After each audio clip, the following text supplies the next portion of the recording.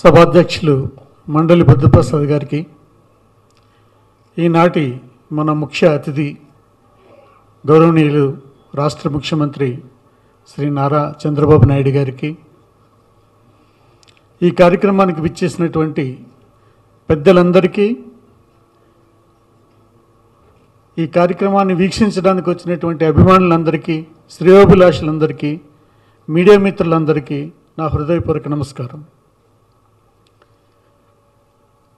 మొదటగా నేను సంఘం అకాడమీని అభినందిస్తున్నాను.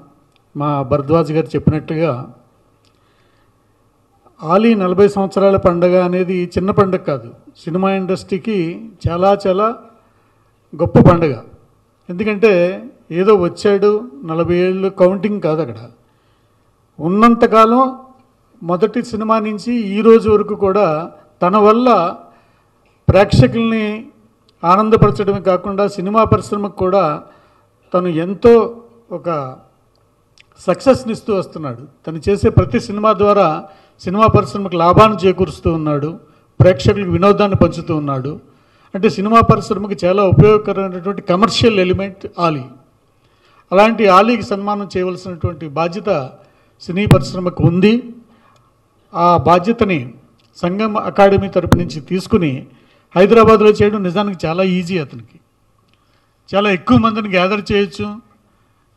చాలా ఎక్కువ గ్రాండ్గా కూడా చేయొచ్చు. చాలా కమర్షియల్గా కూడా చేయొచ్చు. కానీ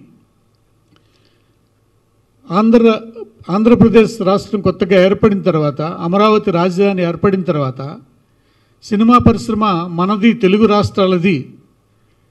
తెలుగు మాట్లాడే జనాలకి తెలుగు నడిబడినటువంటి విజయవాడలో ఈ కార్యక్రమం చేస్తే బాగుంటుందని ఒక సంకల్పంతో ఇక్కడ ఈ ప్లేస్ నిర్ణయించుకొని ఇక్కడ ఇంత అద్భుతంగా సి- మీ అందరి సమక్షంలో జరుగుతుంది అని అంటే మా అందరికీ కూడా చాలా ఆనందంగా ఉంది. ముఖ్యంగా ఆలీ నలభై సంవత్సరాల ఈ ప్రస్థానంలో ఒక మూడు దశాబ్దాల అనుబంధం మాకు కూడా ఉంది. ఇంకా కరెక్ట్గా చెప్పాలంటే ఇరవై ఏడు సంవత్సరాల అనుబంధం మాది.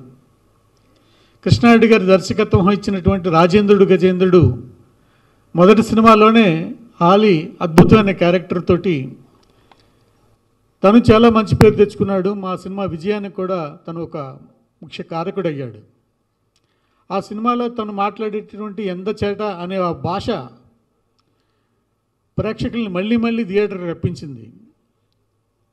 ఒక చిన్న ఎగ్జాంపుల్ చెప్తాను. ఆ సినిమా షూటింగ్లో బ్రహ్మానందం గారికి ఆలీకి ఒక సీన్ ఉంది కాన్వర్సేషన్ సీన్ ఉంది. డైలాగ్ స్క్రిప్ట్ డైలాగ్స్ ఏమి లేవు. కంటెంట్ మాత్రం ఉంది. బ్రహ్మానందం గారు వాళ్ళు ఇద్దరు యాక్టర్లు. సో డైరెక్టర్ కృష్ణారెడ్డి గారు వాళ్ళిద్దరికి సీన్ ఎక్స్ప్లెయిన్ చేసి ఇప్పుడు మీరు ఆలీ మాట్లాడతాడు దాని కౌంటర్ మీరు యాక్ట్ చేయాలని చెప్పి బ్రహ్మానందం గారికి చెప్తే సో వాళ్ళిద్దరూ యాక్టింగ్ చేయడం మొదలుపెట్టారు. ఈయన స్టార్ట్ అన్నారు. కెమెరామెన్ ఇప్పుడు ఇప్పటిలాగా డిజిటల్ కెమెరాస్ కాదు కాబట్టి అప్పుడు ఒక క్యాన్ లోడ్ చేసి స్టార్ట్ చెప్పిన తర్వాత ఆ నాలుగు వందల ఫీట్ల క్యాన్ కంప్లీట్ అయ్యే వరకు కూడా సో వాళ్ళిద్దరూ యాక్ట్ చేస్తూనే ఉన్నారు. వాళ్ళు చేస్తుంటే వచ్చే నవ్వుకి యూనిట్ అందరం కూడా వంద మంది యూనిట్ సభ్యులందరూ కూడా నవ్వు ఆపుకుంటూ ఎంజాయ్ చేస్తూ ఉన్నారు. తర్వాత రీల్ కంప్లీట్ అయిపోయి కెమెరా స్విచ్ ఆఫ్ అయిన తర్వాత చూస్తే కెమెరా పక్కన కెమెరామెన్ కూడా లేడు. ఆయన బయటకు వచ్చేసి అప్పుడు పైకి నవ్వుతున్నాడు కెమెరా ఆగిన తర్వాత. ఎందుకనంటే తను కెమెరా హ్యాండిల్ చేస్తూ నవ్వితే కెమెరా షేక్ అయితే పిక్చర్ షేక్ అవుద్దని చెప్పి అతను బయటకు వచ్చాడు. ఆ ఆ అద్భుతమైనటువంటి టాలెంట్ ఉంది కాబట్టి సినిమా సినిమాకి తన టాలెంట్ని పెంచుకుంటూ ఆలీ ఇంతటి వాడయ్యాడు. కృష్ణారెడ్డి గారి దర్శకత్వంలో వరుసగా మాయలోడు నెంబర్ వన్ సినిమాల్లో చాలా మంచి క్యారెక్టర్లు చేశాడు చాలా మంచి పేరు తెచ్చుకున్నాడు. ఆ సినిమాలు చేస్తున్నప్పుడే మాకు అర్థమైంది ఆలీలో కేవలం ఒక నటుడే కాదు తనకి ఏ పాత్ర ఇచ్చినా ఆ పాత్రని ఆ సన్నివేశానికి ఒక హీరోలాగా పెర్ఫామ్ చేయగలిగినటువంటి ఆ తపన టాలెంట్ హండ్రెడ్ పర్సెంట్ ఎఫర్ట్ పెట్టగలిగినటువంటి ఆ డెడికేషన్ అతనిలో ఉంది. అది గమనించే అతను నిజంగానే హీరో చేయాలని చెప్పి మాకు సంకల్పం కలగడం. ఎమ్మెల్యేల సినిమా ద్వారా ఆలీ హీరోగా ఒక అద్భుతమైన విజయాన్ని వరుసగా ఆ రోజుల్లోనే కంటిన్యూగా నాలుగు వందల రోజులు ఆడింది ఎమ్మెల్యేల. అంతటి గొప్ప సినిమా.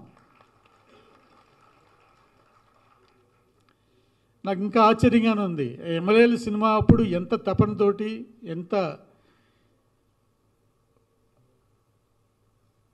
ఒక అంకిత భావంతో తను యాక్ట్ చేశాడో ఈ రోజుకి అదే అంకిత భావం అదే డిసిప్లైన్ అదే క్రమశిక్షణ.